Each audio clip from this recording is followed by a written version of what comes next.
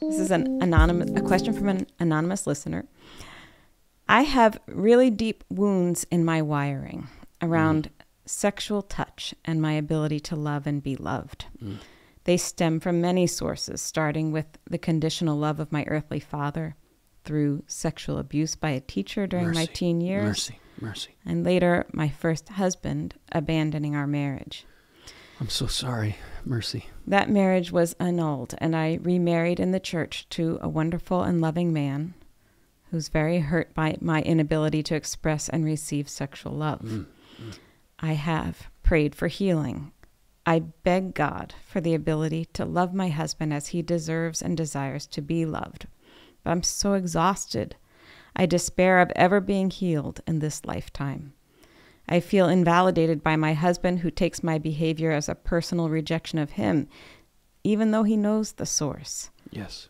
How can I share with him these deep wounds without giving details that will not be helpful? I'm so afraid that if he learns of what I allowed to happen to me, he will not be able to love me anymore. Bless you, dear sister. I know, I know these wounds go very, very deep, and I'm sure it seems right now like a, a big tangled mess that may seem almost hopeless. How do we get out of all these tangled knots? Hmm. That's kind of my image, like a I see a bunch of fishing line or something that's all tangled up. And it's like you throw up your hands, you're like, there's no way we can untangle this. This is so convoluted and painful and, and how do we get out?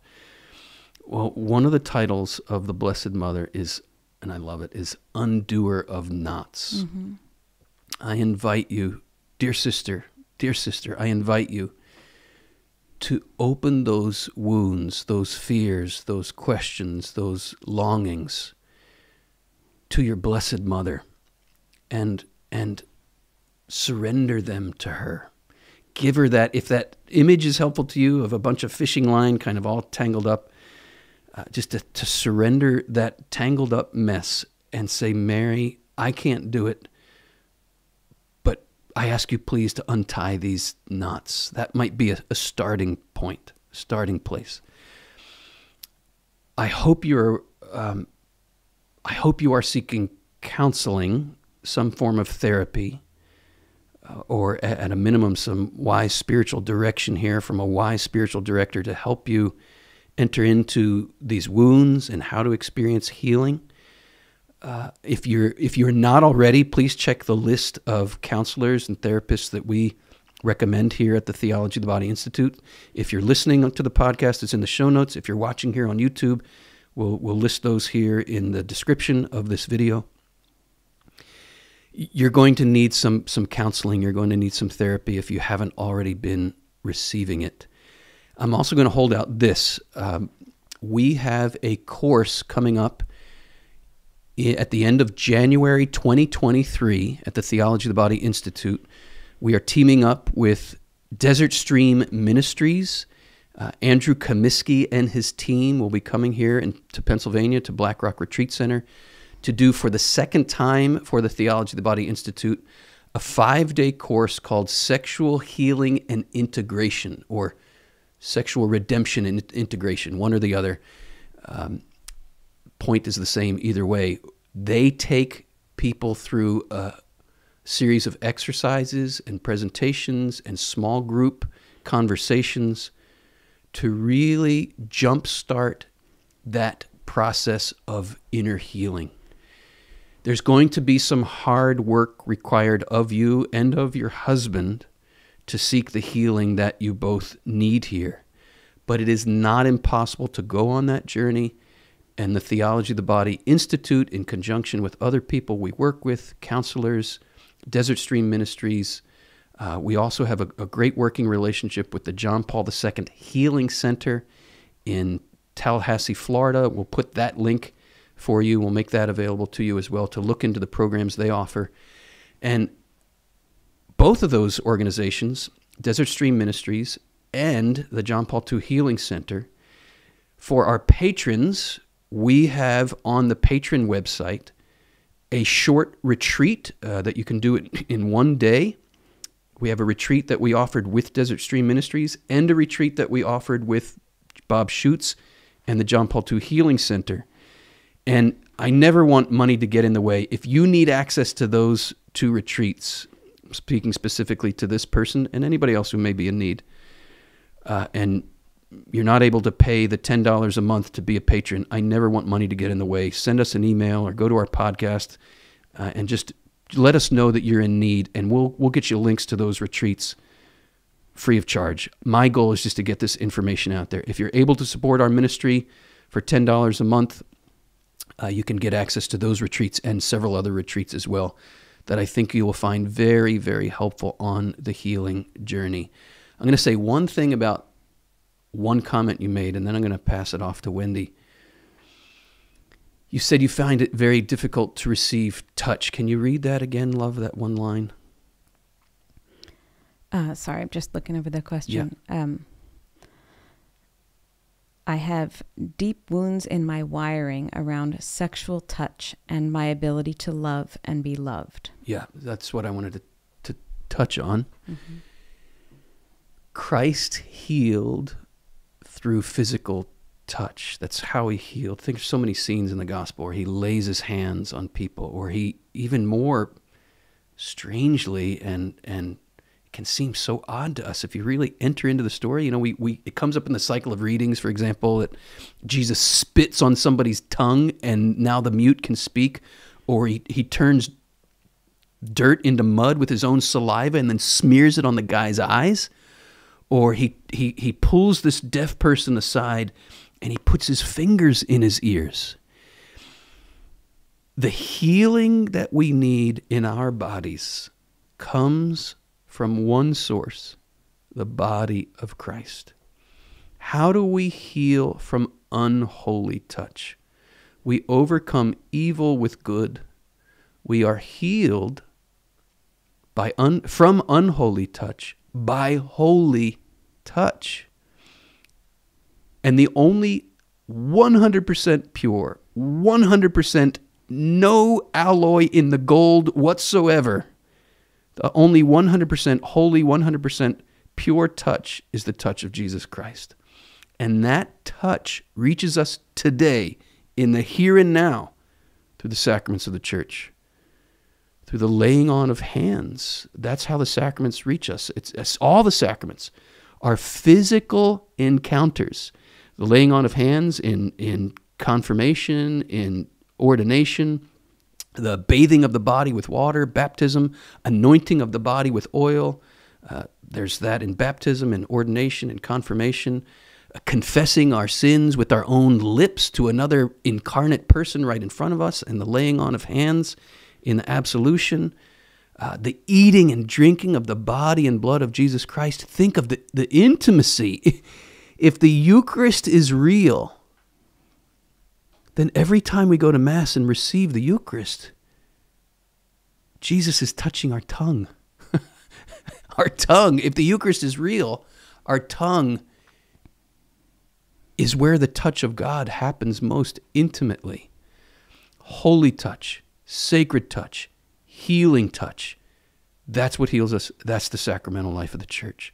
So I, I invite this listener to go to the Eucharist with a, a, a new sense of placing on the altar these fears, these questions, these wounds, wounds, these blocks, and let Jesus touch you there. Let Jesus heal you there. Let Jesus bless you there through the sacraments. What are your thoughts, Wendy? Mm, I, I absolutely agree with your your recommendation of counseling in the sense um, of how how it can seem, as she said, um, let me just find the word, sorry, it, it just struck me like kind of a despair or a, a hopelessness about um, what can happen. I'm exhausted. I despair of being healed in this lifetime. So, oh, what compassion we all feel for that place of just being I keep trying and I don't know. I don't know if yeah. I if there's any progress. And I think that's what counseling can help us so much is to kind of give us a, a next step and a next step. And sometimes, if we're just looking for the end goal where all the sensitivity around the wounds is completely healed, um, we can just get easily discouraged because that's that's kind of way down the path, and we can't as easily appreciate. But we've taken this step, and this grace has been given and opened us up to the next small step. And I think that's that's a beautiful gift that you can experience in counseling is that someone who can reflect back Yes. to you well here's a place to start and here's how you start and here's let's rejoice when we see the good that comes from just beginning here um, so i have experienced that in my life in in spiritual direction of just uh, meeting with someone who could see me i want to be over there. I Yeah. don't like where i am. And and her just lovingly just saying okay just leave that over there. Let, let's take you on the next step right here. Here's what you need to know first. Here's the place where we begin. Um, so i want to encourage you in that. And also i just want to um, point out something so gently because I, I wouldn't want someone to feel that i am critical. I think you have actually a beautiful insight into your husband here that is a gift and i think the evil one wants to twist it and make it into one more wounding thing where you talked about my husband takes my behavior as a personal rejection of him even though he knows the source. There's um there i just see the evil one twisting up something that could be really beautiful which is just an insight of how important it is to stay on this healing journey because of how important our the consolation we're meant to give one another on the journey Yes, as yes. husbands and wives is to each of us personally and just as you're feeling unable to console him as a wife, and he's feeling this inability to console you as he's your husband, consoling his wife, that insight that I see what she needs, I see what he needs, and I I'm failing at Yes, it yes. is a gift Yes, yes. to know it and to allow that to open that to one another and to the Lord and just ask for grace in those moments, even if the grace is just tears of being on the same journey together. Yes, yes. And Like that- those tears of being on the same journey are so unifying. right. And that's that possibility of that being unifying rather than Yes, dividing yes. is what I wanted Good to Good point, up. Wendy. I, I can think of countless times in our marriage where there's been a little rift between us where I felt not understood by you, you felt not understood by Right. me. Sure.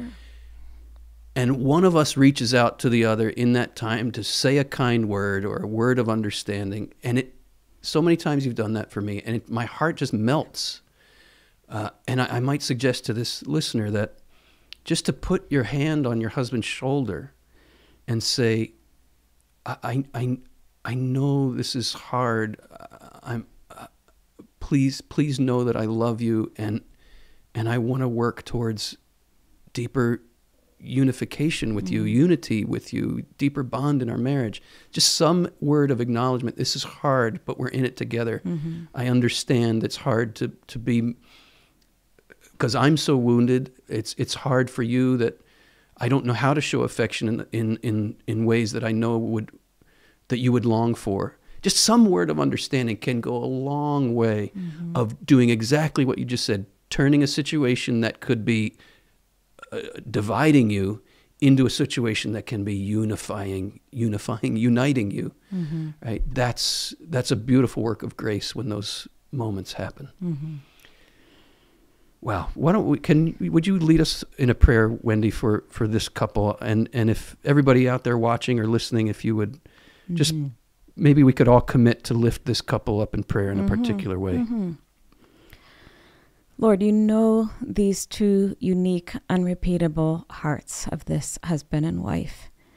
And yet you know how many of us can relate to so many things, whether we've experienced them to a lesser degree or to a greater degree. We can relate to what they're going through, and that it's the the struggle of a human heart to work in this imperfect world, to be patient with the process, to stay committed to find the help that is needed on this journey. So we lift them up to you. We lift all married couples up to you and ask for a great outpouring of grace in their lives. Yes, that they would have the gift of spiritual eyes to see one another as a beautiful gift, a precious, unrepeatable gift, and to embrace once again, to take up once again the journey that they've promised to be on together of, of growing closer to you and to the people you made them to be through this sacrament of marriage. Ask yes, you Lord. to bring holy counselors and um, just loving, deep friends into their lives that can encourage them on this journey, help them bear the burdens that they're bearing. Ask for deep healing to take place in both their hearts. Yes, Lord. Amen. Amen. In the Father, the Son, and the Holy Spirit.